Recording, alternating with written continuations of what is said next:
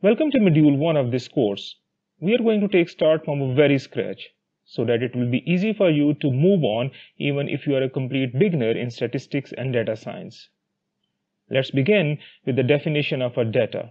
As per Oxford English Dictionary, there are the two different definitions of a data. The first one is philosophical one, while the second one is a technical one.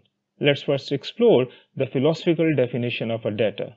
As per this definition, things known or assumed as a fact making basis of reasoning or the calculation is known as data. In simple words, the things which help you to understand some phenomena around you is called a data in philosophical term. As you know that currently we are living in an age of technology. So with the context to the technology, we have a bit different definition of a data. And that is the quantities, characters or symbols on which operations are performed by the computers and which may be stored and transmitted in the form of electrical signals and recorded on a media is known as data. In simple words, the videos which right now you are watching, the newspaper which you read, and the calculations you have done on an Excel sheet, and everything which you have seen or experienced on the internet is a data. Now at this stage, it's good to have an idea about another very important term, which is a big data. Let's try to understand this term by taking a one example. On 1 October 1990, the Human Genome Project was initiated by the US government. During this project, the tons of the sequencing data is produced, which is deposited in NCBI nucleotide database. This is a huge amount of data. And interestingly, so far most of the human genome data is still unexplored. Similarly, like a human genome data, we have many other huge data sets deposited into the databases. Such data is known as a big data due to its large size. Here you can ask a question that why we don't have a big data in the past. The answer of this question is pretty simple.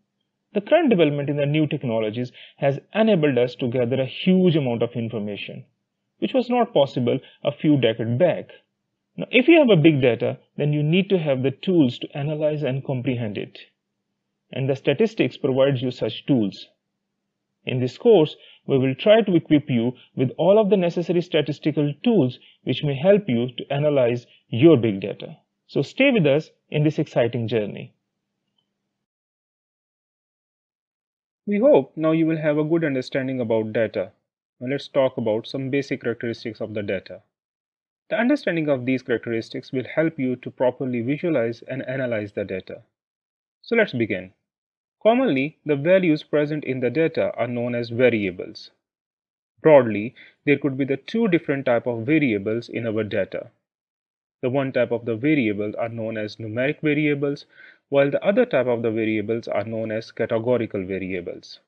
Let's first talk about the numeric variables. The numeric variables are in a form of numbers like 1, 2, 3, and etc. On numeric data, we can perform a different type of arithmetic functions for example, we can sum the numeric variables, we can take an average of them, we can multiply them, and we can divide them, and so on. We can further classify the numeric data into the two different types. The one type of the numeric data is known as the continuous numeric data, while another type is known as the discrete numeric data. The continuous numeric data is basically a measurable numeric data. For instance, the height of the students or the distance between the two cities. It is not mandatory that the continuous numeric data is always in a whole number. This data can be in decimals. For instance, the height of the students could be 6 feet or it could be 6.3 feet as well. We hope this will be clear to you now. Now let's talk about the discrete numeric data. The discrete numeric data is normally a countable data. For instance, the total number of the chairs in the classroom or the total number of the books at the shelf. The discrete numeric data is always in a whole number. It cannot be in decimals. For example, the total number of the chairs in the classroom can be 20, but it cannot be 20.5.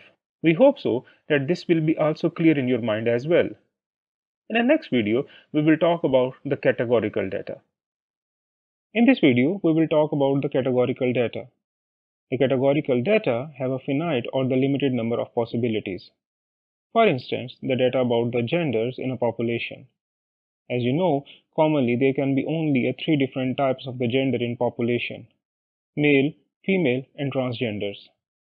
Similarly, let's assume you have a data about the grades of the students as an excellent, good, average, and poor. All of such type of the data are known as the categorical data. In simple words, the data which will have a certain categories will be considered as a categorical data. The categorical data can be further classified into the two different types. The one is known as ordinal categorical data and the simple categorical data.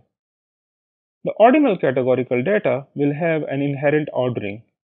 For example, the grades of the students from excellent to poor have an order. The high scoring students will be in a higher order while the low scoring mark students will be in a lower order.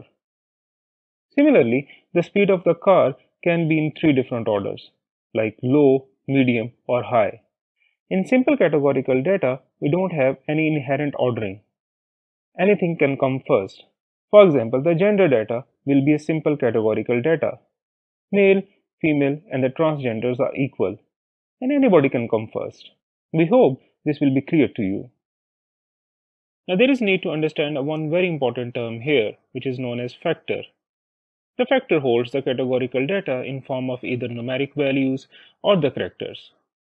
You may be confused about that stuff, but don't be. Very shortly it will be clear to you. Take an example that you are going to conduct a survey and there is a gender column in your data collection form. Rather than writing down the male and the female to specify the gender of the participant, you decided to write 1 for the male and the 2 for the females. Although 1 and the 2 are the numeric values, but basically during a data analysis, these will be considered as the categorical data. Such values in the data are also known as the factor. We hope so that now you will have a good idea about the categorical and the factor term.